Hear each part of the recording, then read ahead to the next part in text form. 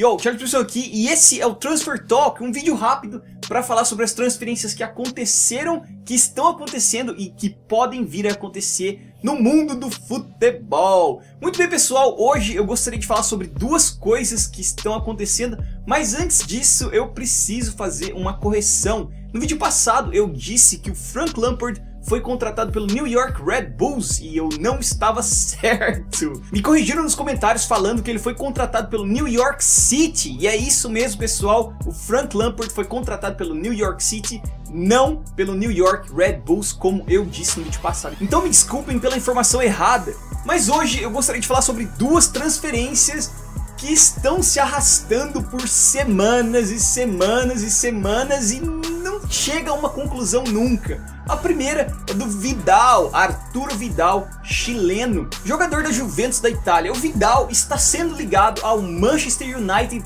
por semanas e semanas e semanas e, e todos os dias saem notícias dizendo dessa vez o Manchester United contratou Vidal por 40 milhões. Daí passa algumas horas, cancelou. E não foi isso, e aquilo outro, e vai e vem, informação aqui, informação ali todo dia um preço diferente, 30 milhões, 20 milhões, 40 milhões, 50 milhões. Saiu até uma informação que eu achei a mais absurda de todas, falando que o Manchester United tinha pago 60 milhões pelo Vidal. Mas é tudo mentira, pessoal. Até agora, os clubes estão conversando para ver se vão chegar realmente a um acordo, mas nada foi sacramentado. Na minha opinião, na minha opinião pessoal, eu acredito que o Vidal vai ser uma daquelas contratações no último dia da janela de transferência. Eu acredito que o Manchester vai conseguir contratar o Vidal no último dia da janela de transferência. E estão falando que o preço médio vai ser 40 milhões. Eu acho muito, mas muito dinheiro pelo Vidal. Ele é um bom jogador e esse preço do Vidal deve ter sido colocado pela Juventus antes da Copa do Mundo, porque na minha opinião, o Vidal não teve uma boa Copa do Mundo, então esse preço deve ter sido colocado antes da Copa do Mundo, porque eu não consigo ver o Vidal valendo 40 milhões. Ele é um bom meio de campo, ele é um box to box, ele ajuda tanto a defesa quanto o ataque, ele passa bem, ele chuta bem, mas 40 milhões no Vidal, ele também não é nenhum garoto, cara.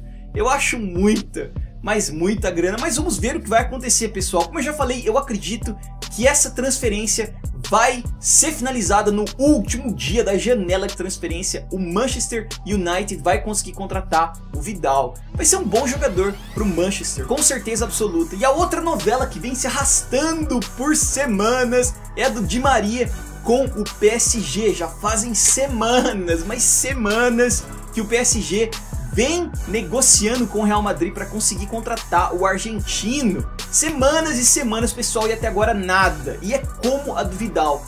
Todo dia saem novas informações. Ah, o PSG vai pagar 40 milhões, o PSG vai pagar 50 o Real Madrid quer 55, o Real Madrid quer 60, mas nunca eles chegam a um acordo. O Di Maria também foi linkado com outros times, como o Manchester United, mas parece que o PSG é realmente um time que está interessado no Di Maria. E eu também acredito que essa transferência vai ocorrer no último dia da janela de transferência. Então, Vidal no Manchester United Di Maria no PSG no último dia da janela de transferência. Essa é a minha opinião. Mas o que vocês acham sobre isso? Vocês acham que eu estou certo? Vocês acham que esses times vão realmente contratar esses jogadores daqui um dia, dois, na próxima semana? O que vocês acham sobre isso? Vocês acham que esses jogadores não vão sair dos times, porque são times grandes. A gente não tá falando de um jogador de um time pequeno que tá indo para um time grande. A gente tá falando de dois jogadores que jogam em grandes equipes, que estão indo para grandes equipes. O que vocês acham